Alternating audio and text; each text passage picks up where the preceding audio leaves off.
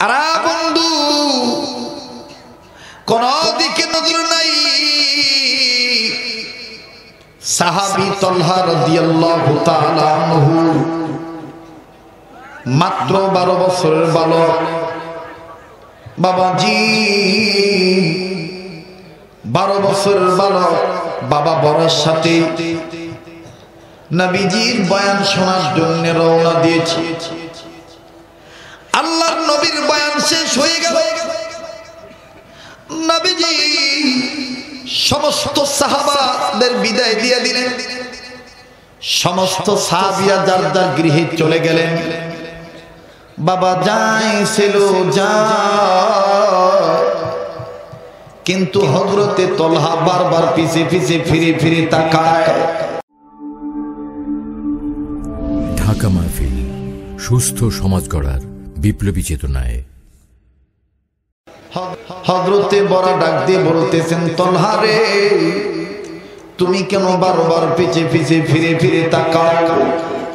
হজরতে তলহা ডাক দিয়ে বললেন, আব্বু গ, ওই দেখেন এখনও নবীজি হুদ্রাখানায় যায় নাই। ও আব্বা, নবীকে দেখে আপনারা আপনাদের তৃপ্তি মিটাইছেন। আপনারা নবীর সামনে বসেছিলেন।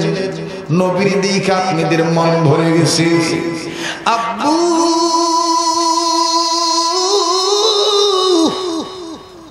আজ আমি আমার মন ভরে নাই। এখন আমার নবী যায় নাই। আমার দাঁড়ায় আমি নবীর চেহারা দেখতেছি। দেখো না বাবা, নবীর চেহারা কত সুন্দর। আল্লাহ আকবর আল্লাহ আকবর। আবার বলেন আল্লাহ আকবর। এ যুব ক্রাম নবীর চেহারা দেখেছেন, জান্নাত কামাই করেছেন। যারা দেখছেন, তারা হয়ে গেছেন। চিৎকার দিয়ে বলেন সুবাহ আর একবার বলেন সুবাহ আল্লাহ মুসলমান বাইরে চলবে কি চলবে না? বলব কি বলব না? আওয়াজ দিয়া তকবির দিয়া আকাশ বাতাস মুখরিত করে দিতে হবে। চিৎকার দিয়ে বলতে হবে, আল্লাহ আকবার। নারায়ে তাকবীর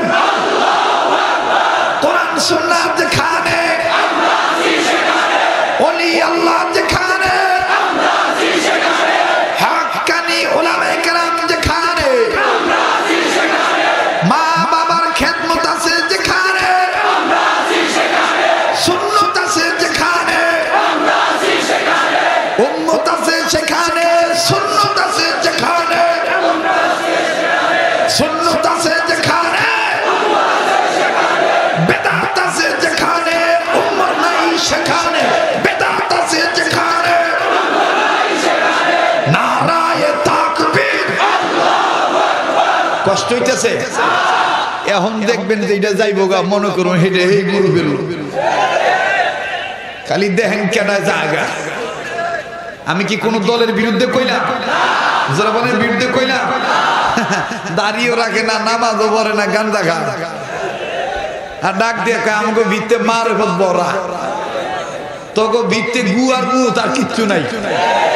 রাস্তার একটা কুত্তার যে দাম আছে, এর দামও তোদের নাই। কারণ তোরা গান দেখাইয়া, মদ খাইয়া মাতলামি করস, মসজিদকে অস্বীকার করো কমি মাদ্রাসার হুজুরদেরকে ওয়াহাবি বলে গালি দেন চামড়া চামড়ার দাম কমাইয়া মাদ্রাসা বন্ধ করার ষড়যন্ত্র করতেছ সুদের ব্যবসা চালু করছ যে চাইতে তোদের দাম নিকৃষ্ট কথা বলেন ঠিক কিনা? ভাই ওয়াজ শোনেন ভাই, লাগবো না ভাই। আমি খালি দেখেন, কি করুম মানে মাইকটা ফেভার হয় না মাইকটা ভালো। আমার আওয়াজটা আমার ফেভার হয় না লম্বা জায়গা তো, আর সব আওয়াজ পানি নিতে জায়গা। সব আওয়াজ কই নিতেছে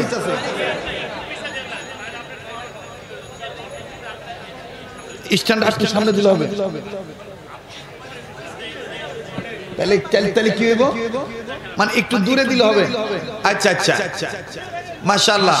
দেখা যায় দেখেন মিস্ত্রিও আছে। আল্লাহ আমার ভাইয়ের হাত বাড়ায় দেব জোরে বল আমিন। এই আপনারা কথা কইবার চাইতেছেন নাকি? রাগ করছেন নাকি? হ্যাঁ? হক কথার জবাব দেওয়া লাগবো কি লাগবো না?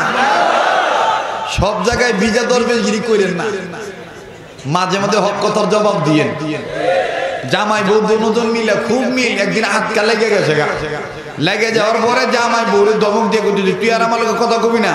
বউ বি কইতে যে তুইও কথা কবি না। ফট করে তেন্দুর কিছু পোলা বন্ধ কেনা দুষ্ট প্রকৃতি, মাইয়া বা পোলা মাথা হান্দাই কইতেছে, ওই মা, যেটা আগে কথা কইব, কি মার কি আর রাগ আছে? পরে আবার বাপের কাছে আব্বু যে আগে কথা কইব কি হইব? মা এখন ওই কোনার থেকে কইবা লইছে "এই, তোর বাপের কয়ে দে যে আগে কথা কবে আর মশারি টাঙাই তখন বাপে কইতেছে তোর মায়ের কয়ে দে মশারি অবি টাঙ্গামো না কথা অবি কমু না। এইটা আবার তোরা বেটা হুইনা ফেলেছে। তোরা বেটা হুইনে ডাক দিয়ে কই তাহলে আমি আজকে চুরি করে দুধ পাবো জামাই বউ তো কেউ কথা কইব না। আমি আজকে নিরালা চুরি করুম রে। বেড়া কাইটা, শীত কাইটা, মাথা ঢুকাইতে চুরি করবা বেটি কিন্তু দেখছে এটা চোর। দেখেও বি করতেছে না, আমি কত না তো কম না তো, কম না। কইলে তো মশারি টাকাই তুইব। তো বেটা আবার খচর মচর আওয়াজ হই না? বেটা আবার সিনাটা ঘুরেছে সিনা ঘুরে দে আলগা বেটা মাথা ঢুকেছে। আর এটা তো চোর রে। হ্যাঁ হ্যাঁ আমার বউ দেখেও তুই কথা কইবে না। বুঝছি বুঝছি, মশারি টানানোর ডরে তো কথা কইবে চাইতেছে না। যাক আমি আজকে একটু নাইলে ছোট হয়ে গেলাম। আমি আজকে একটু কথা কইয়া নাইলে বউ মশারি টাঙাই দিলাম। কিন্তু আমার সম্পদ ভিতর রক্ষা হইব। আমার সম্পদ আমার সম্পদ বি? এই মিয়া তুমি আমি বাঙালি মুসলমান। লাইলা ইলাহা ইল্লাল্লাহ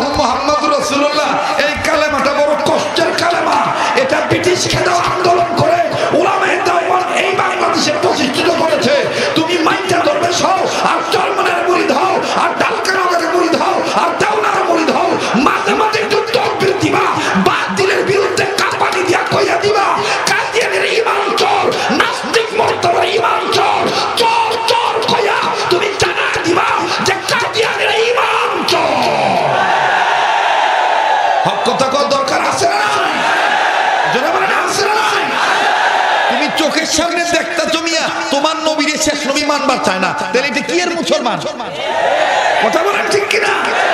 এই যে আমার ভাই ডাইন সাইডে বসে রয়েছে, বামে বাম সাইডে আমার ভাই বসে রয়েছে, সভাপতি বসে রয়েছে, এক সাইডে জসিমুদ্দিন আল হাবিব আছে ওলামা একরাম আছে, এদের সবার একটাই চিন্তা যে আব্দুল্লাহর পুত্র মোহাম্মদের পরে আর কেউ নবী হইতে পারে না।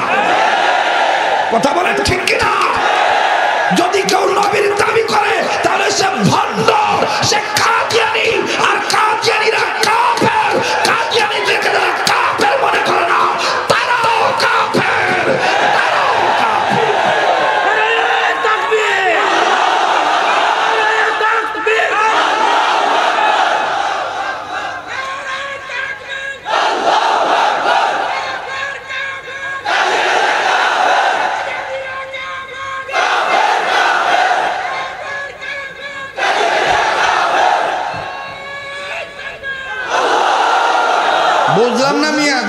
পেট্রোল ঢেলে রয়েছেন নাকি কথা কইলে দিচ্ছেন করে জুলে উঠতেছেন। ঘটনা কি?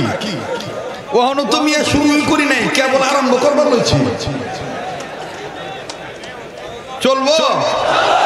কতক্ষণ? হ্যাঁ? আপনারা থাকেন সারা রাত। আপনি কুদাকুদি দেখে তো মনে হইতেছে মিয়া রাত নয়টা বাজে। হ্যাঁ হ্যাঁ কোন জায়গায় গেল রে? হ্যাঁ? চলবো কি চলবো না? পুরান চাউল বাতে পারে মিয়া, এই এলাকা আমার পুরান এলাকা। এই এলাকা থেকে আমাদের উত্থান হয়েছে। কথা বলেন ঠিক কিনা? এই কালীগঞ্জ, এই আলম টাওয়ার, এই জিঞ্জিরা এই কদমতলি, চুনকুঠিয়া, এই এলাকা থেকেই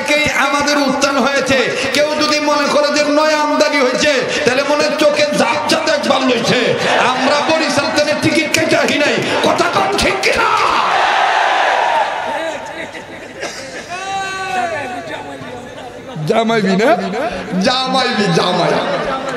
জামাই নিয়ে ভালো মতন করব নাকি কামাই আল্লাহ, তুমি হেফাজত করো। ধরে কোন আমি আজকে মাইন্ড করুন যে বলে জসিম ভাই এটা পাগলা বলে চলবো তো চলবোই। যুবক কি কর, চলবো কি চলবো না? মিয়া দুঃখ রাখার জায়গা নাই মিয়া। কোন দুঃখ রাখার জায়গা নাই, কি কম আফসোস আমগো দেশে কিছু নয়া নয়া আমদানি মৌলবি বেরিয়েছে। খালি যুবক দুষ করে। যুবক কয় ওই এমনি কে এমনি কে, নামাজ না কে? ওই কে? কিন্তু কেউ এই কথা কয় না, ওই মাইয়া, ওই তুই মুসলমানের মাইয়া, ওই মাথায় কাপড় দাস না করে পাতলা কাপড় পরছস করে বোরকা পরস না করে এই কথাটা কেউ কয় না কেউ কয় না।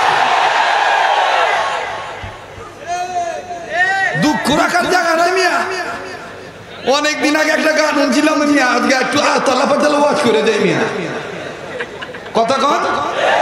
কথা কন ঠিক কিনা? আবার দেখবেন খোঁচা মাইরে কয় যুবক চরিত্র শেষ হয়ে গেছে। যুবক চরিত্র শেষ হয়ে গেছে হুজুর, আপনি কথাবার্তা হিসাব করে কয়েন, আমগো দেশের যুবকদের চরিত্র যদি নষ্ট হয়ে যাইত, তাহলে বর্তমানে বাংলাদেশে যে সমস্ত মহিলারা ভারতের স্টাইলে আমেরিকান স্টাইলে পাতলা কাপড় পইরা, অঙ্গ দুলাইয়া শ্যাম্পু দিয়া দৌত করা, চুল বাইর কইরা, পেটের চামড়া বাইর কইরা, আবার নিয়ে পিঠের চামড়া দিয়ে বাইর কইরা, যেভাবে ডুল ডুল করে হাই হিল জুতা পইরা, হাই রুটে ন্যাংটা শুরুতে ঘোরাঘুরি করে, আসলে যদি বাংলাদেশের যুবকদের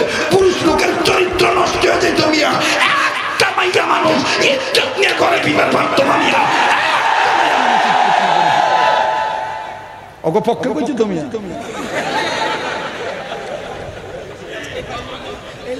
তোকে পক্ষ কইছি না? আমি আমার মুরব্বীদেরকে বলব যুবকদেরকে ধাক্কাইবেন না। অগর লাইফের জীবন আছে অগর লাইফের দাম আছে। কথা কম ঠিক কিনা? আলহামদুলিল্লাহ আমাদের দেশে এখনও দাওয়াত ও তবলিগের মেহনত আছে। হালকা জিকিরের হার জিকিরের হালকা আছে। ওলামায়ে কেরামের খানকার তালিম আছে। আমার বন্ধুগণ কোন মাদ্রাসার শিক্ষার ছেলে সিলেবাস আছে। এখনও এই দেশের ছেলেদের ভিতরে ইমানের স্পিরিট আছে। যার কারণে সর্বহালতে পাইকারি হারে হার হার যুবককে দোষী করা যাবে না। কিছু কিছু পাগলামি মাতলামি করে এইটা সঙ্গ কিসের কারণে। সঙ্গ দোষের কারণে সৎসঙ্গে সর্ববাস অসৎসঙ্গে সৎসঙ্গে সর্ববাস অসৎসঙ্গে মিয়া, গোরে চুরের লগে, তো চুরি তো করবোই। হ্যাঁ গোরে কি লগে? ওই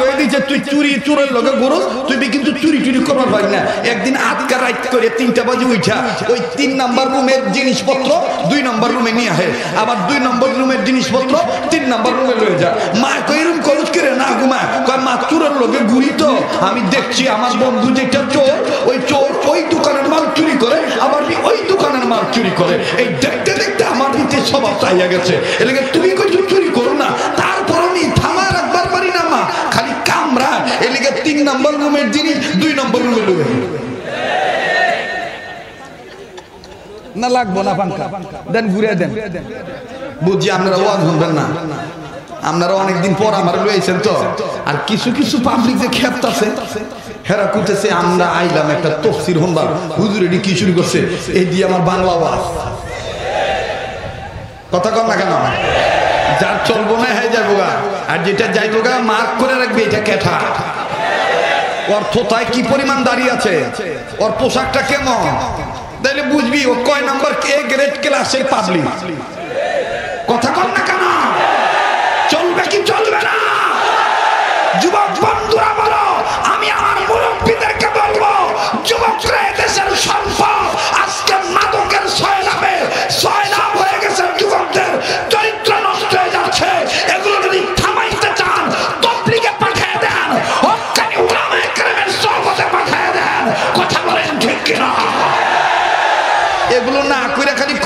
করে, খালি খোঁচাখুচি করে। আল্লাহ হেফাজত করুক, জোর কোন আমিন। আবার বলেন আমিন। তো সাহাবি তলহার বয়স কত? জোরে কোন কত আর একবার কোন কত সাহাবি তলহার বয়স বারো। আর কিন্তু কোনো কথা নাই। আমি একবারে এক টানে কথা শেষ করে দোয়া করে দেব। সাহাবি তলহার বয়স বারো। বাবা ডাক দিয়ে বলতেছে তলহারে তুমি এত বেশি পিছে পিছে ফিরে তাকাচ্ছ কেন? দেখে বললেন আব্বা নবীর চেহারা দেখে আমার মন ভরে নাই। আমি আমার নবীর চেহারা দেখি। আর হজরতে তলহা ডাক দিয়ে বললেন, ও আমি আমার নবীকে খুব ভালোবাসি। নবীর চেহারা যত দেখি ততই মজা লাগে। এবার হজরতে বড়া ডাক দিয়ে বললেন তলহারে তুমি কি তাইলে নবীকে অনেক ভালোবাসাও? হজরতে তলহা ডাক দিয়ে বলতেছেন, আব্বা আব্বাজান আমি আমার নবীকে জীবনের চাইতে বেশি ভালোবাসি।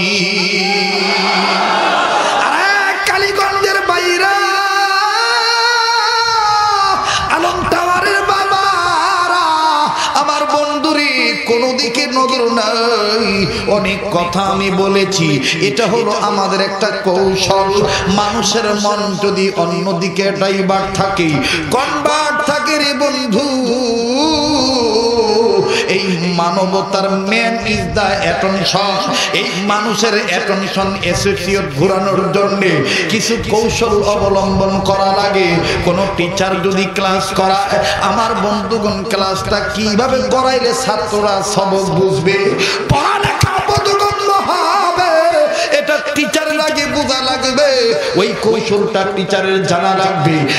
তো বাদাম ছাত্ররা সূক্ষ্মভাবে শিখতে পারবে। বাবাজি যদি অ্যাক্সেস কিছু বলে থাকি, মনে যদি কষ্ট পেয়ে থাকেন, আমাকে মাফ করে দিবেন। আমার জন্য দোয়া করবেন বন্ধু। আরে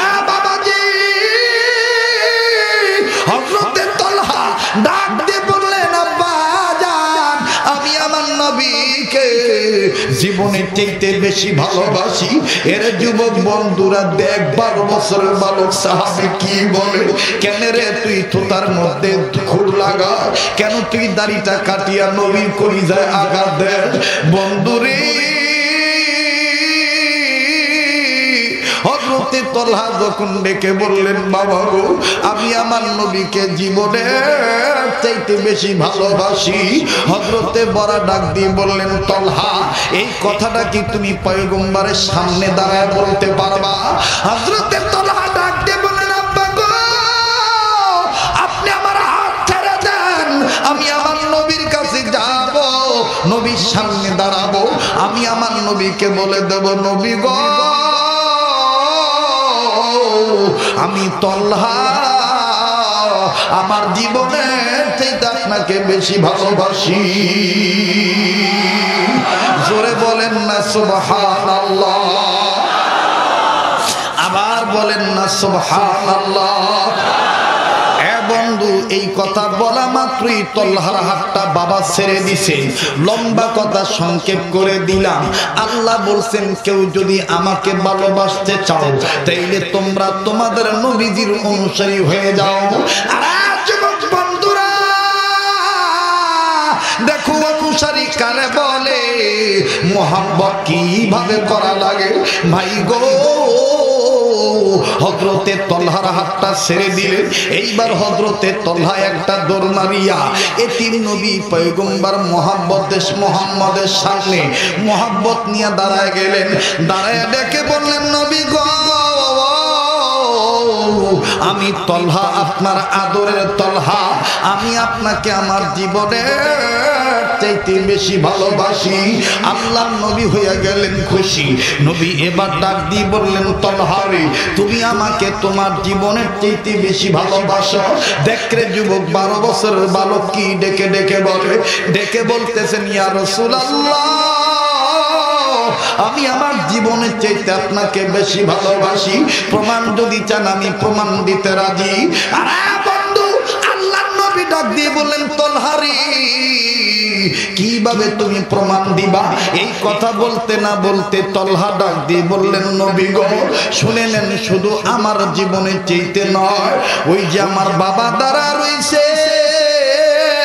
ওই বাবার চাইতে আমি আপনাকে বেশি ভালোবাসি। আল্লাহ আল্লাহ বল মুমিন আল্লাহ আল্লাহ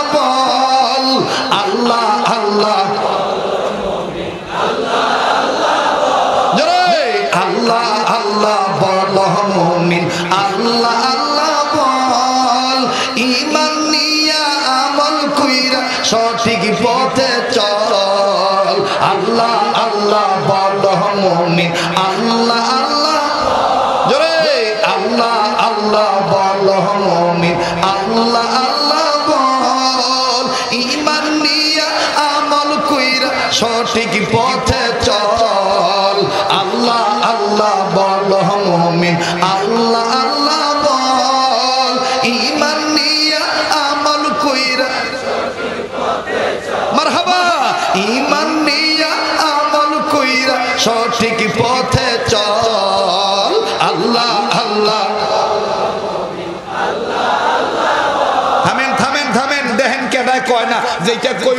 বুঝবেন, হুম বেজাল আছে। দেখেন কেটা কেটা কয় না? আল্লাহ আল্লাহ আল্লাহ আল্লাহ। আল্লাহ আল্লাহ।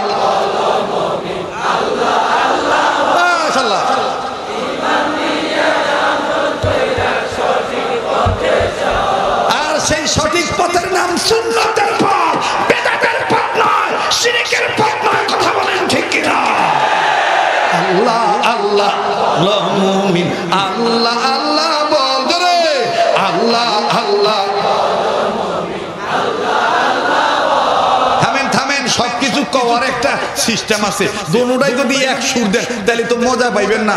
এইটাও মিয়া, এইটা নিজের নিজের নিজের সুরকার, গীতিকার। আল্লাহ আল্লাহ বল মুমিন। আল্লাহ আল্লাহ বল আল্লাহ আল্লাহ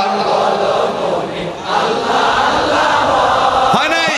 আল্লাহ আল্লাহ বল মুমিন। আল্লাহ আল্লাহ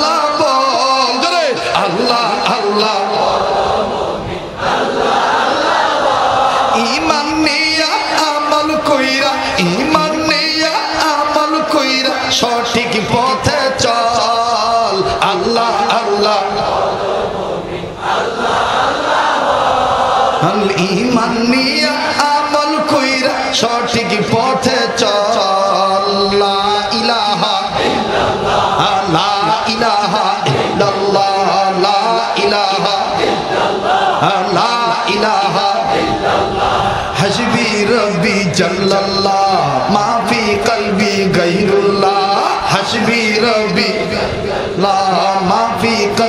গাইরুল্লাহ নূর মোহাম্মদ সাল্লাল্লাহ নূর মোহাম্মদ নূর মোহাম্মদ। হাসবি রবি জল্লাল্লাহ, মাফি কলবি। হাসবি রবি লা মাফি কলবি। লা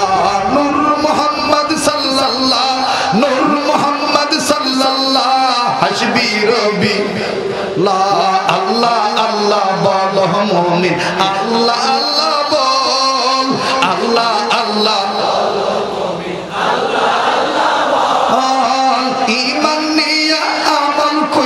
সঠিক পথে চল। ইমান আমল কইরা চল। আল্লাহ আল্লাহ মারহাবা, বলেন মারহাবা। এবার হজরতের বাবা গো। প্রমাণ যদি চান, ও নবী, আমি আমার বাবার চাইতে আপনাকে বেশি ভালোবাসি। প্রমাণ যদি চান, আমি প্রমাণ দিতে রাজি। আল্লাহু আকবার।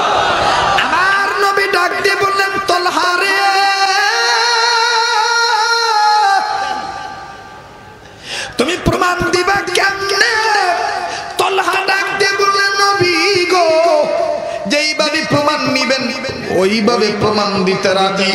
এবার নবী আমার ডাক দিয়ে বললেন, তলহা, তোমার কোমরে এটা কি? পয়গম্বরের কথার উত্তর দিয়া তলহা আমার দিক তাকান। তলহা ডাক দিয়ে বললেন, নবী গো, এটা আমার কোমরে ছোট্ট একটা ধারালো তরবারি। কোন কিতাবে আছে ধারালো একটা খঞ্জন আল্লাহ রসুল ডাক দিয়ে বললেন, তরবারিটা বের করো, আমার হাতে দিয়ে দাও। আরে বাবাজি হজরতে তল্হা তরবারিটা বের তরবারিটা বের করে পয়গম্বর হাবিবে কিবরির হাতে দিলেন। মুরসালিন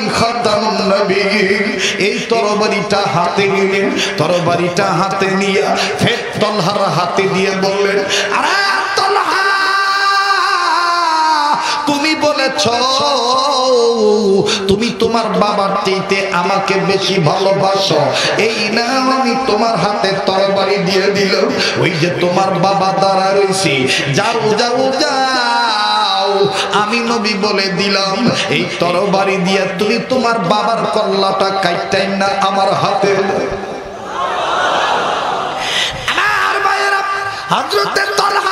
এই তরবারিটা হাতে নিয়া নবীর চেহারার দিকে দেখে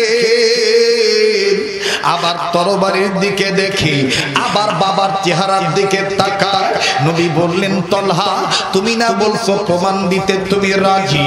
যাও যাও যাও। আমি নবী বলছি, তুমি তোমার তরবারি দিয়ে তুমি তোমার বাবার কল্লাটা কেটে এনে দাও। আল্লাহ নবীর সাবি তলহা, বারো বছরের বালক। হজরতে তলহা রসুলকে ডেকে বললেন, পয়গম্বর হাবিবুল্লাহ আমি কান্দি বাবার মায়ায় কান্দি না। ওগো নবী, আপনি বলছেন, বাবার কল্লা কাইটাই না দিতে। আমি দেখব না কে আমার বাবা, কে আমার মা। আপনি বলছেন, বাবার কল্লা কাইটাই না দিতে। আমি যাব। ওগো রসুল, আপনি খুশি হইলে আল্লাহ খুশি। তাইলে আমি হব জান্নাতবাসী।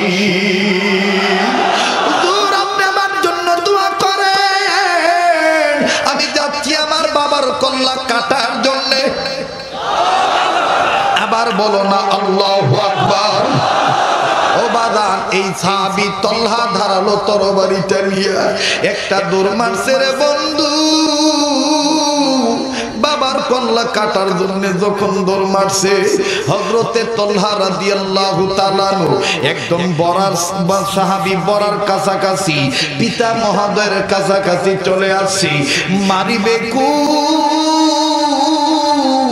বাবার কল্লায় মেরে দিবে কো ও বাগান হজরতে বড় ডাক দিয়ে বলতেছেন, আল্লাহ, আমার ছেলে বুঝি আজকে আমাকে খুব মেরেই দিবে, তবে মা গো, আমি শহীদ হইতে পারলে, আল্লাহ গো, আমি জীবন ধন্য যে আমার একটা সন্তান নবী প্রেমিক। বাবা চুক্তি মেরে মাথাটা নিচু করে দাঁড়ায় আছি। তল্হা যদি কোপ মারে, আমি না করব না। আরে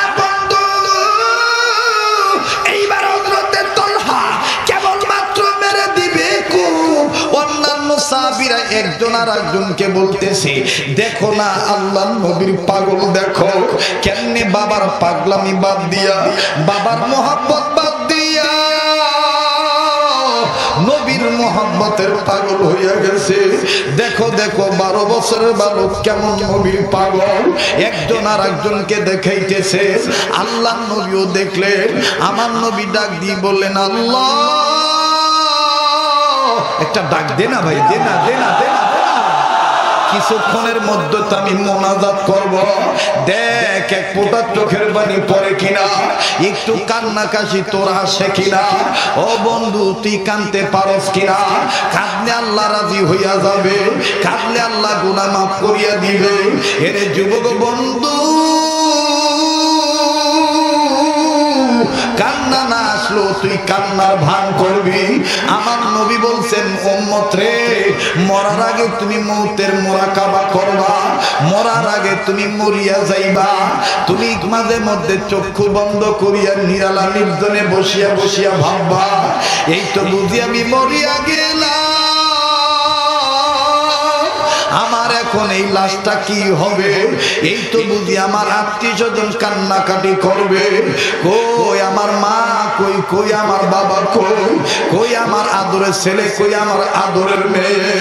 এ যুবক বন্ধুরা, আমার বাইরা রে, ওই কবরে আমার নবীজি ছাড়া আর আমার আল্লাহর দয়া ছাড়া কেউ তোমাকে রক্ষা করতে পারবে না।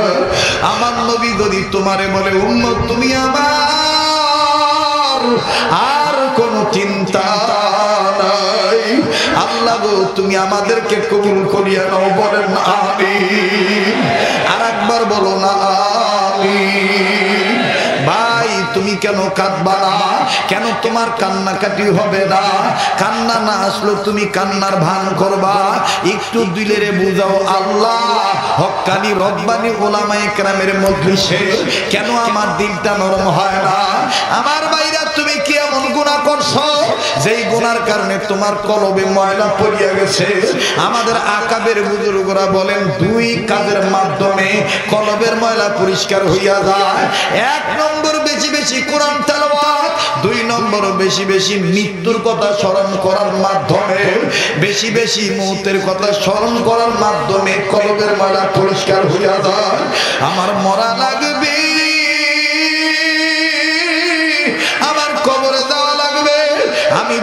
যাব না বাবা, সারা বাংলাদেশে তোমাদের এই কেরানীগঞ্জের জিনজিরের একটা ঘটনা, সারা বাংলাদেশে আমি বলে বেড়াইছি। এই তো বাদাম তোমাদের নাকের ডগার সামনে একটা ঘটনা ঘটছে। এই তো তোমাদের এখান থেকে সামান্য কয়েক গজ দূরে কয়েক কদম দিলেই গার্মেন্টসটা দেখা যায়, কয়েক কদম দিলেই কারখানা দেখা যায়। এ বাবা হইয়া যাইতে পারো। তোমার ছেলে মেয়ে বলতে পারে আমার বাবা নাই।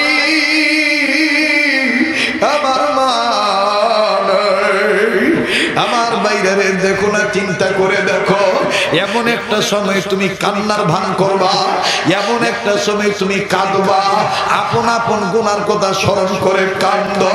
আল্লাহর কাছে মাপ চাও, আল্লাহর মোহাব্বত হাসিল করো। মাহবুব তোমার আমার প্রতি রাজি হইয়া যাবে। এ বন্ধু, কেন এত বাহাদুরি করো? এত অহংকারী করো। আজকে তুমি জেন্দা, কালকে তুমি মুদ্রা হইয়া যাইতে পারো। এ মুজাহিদ ভাইরা, তোমরা তো টাটকা ফায়েজ নিয়ে আইছ। চরমুনার ময়দানের মুজাহিদরা, তোমরা তো টাটকা ফায়েজ নিয়ে আইছ। ইসাক রহমতুল্লাহ রুহানিয়া, ফজলুল করিম রহমতুল্লাহ রেজাল করিমের তাওয়াজ্জু ফয়জুল করিম কাসেমের তাওয়াজ্জু তোমরা তো নেক তাওয়াজ্জু নিয়ে আসছো ও আমার বন্ধুরা, আমার ভাইরা, দাওয়াতুল হকের সালেকিন ভাইরা, আমার ভাইরা, সালেক ভাইরা, মুজাহিদ ভাইরা, জাকের ভাইরা দিনটা নরম করিয়া দাও। এই দুনিয়া থাকার জায়গা না এই দুনিয়ায় কেউ চিরদিন থাকতে পারব না। তুমি জেন্দা কালকে তুমি মুদ্রা হইয়া যাইতে পারো। ও বন্ধু, এই তো তোমাদের এই এলাকার ঘটনা। এই চুনকুটিয়া এলাকার প্লাস্টিক কারখানায় যেদিন আগুন লাগছিল, কত আগুনে পুড়িয়া মারা গেছে। এই চুনকুটিয়া প্লাস্টিক কারখানার একটা শ্রমিকের মেয়ের একটা করুণ আর্তনা যেটা পেপার পত্রিকায় সয়লাভ হয়ে গিয়েছিল, যেটা তোমরা রাজ সাক্ষী আছ। এ বন্ধু, যেদিন আগুন লাগছিল, ওই দিনের একটা সকালবেলার করুণ একটা চিত্র তুলিয়া ধরতেছি। অবাদান তোমার কপাল এরকম আমবস্যার রজনী আইসা যাইতে পারে। যে কোনো মুহূর্তে তোমাকে মালাকুল মৌত গ্রেপ্তার করিয়া নিয়ে যাইতে পারে। তুমি কেন কবরে চিন্তা করবা না? যুবক, কারও দিকে তুমি তাকাইবা না। তোমার কবরে চিন্তা, তুমি চিন্তা করো আল্লাহর উলিদের রুহানিয়াত হাজির হইয়া গেছে। আমার বন্ধুরে কেউলি হইয়া যায়? ঢাকা মাহফিল, সুস্থ সমাজ গড়ার বিপ্লবী চেতনায়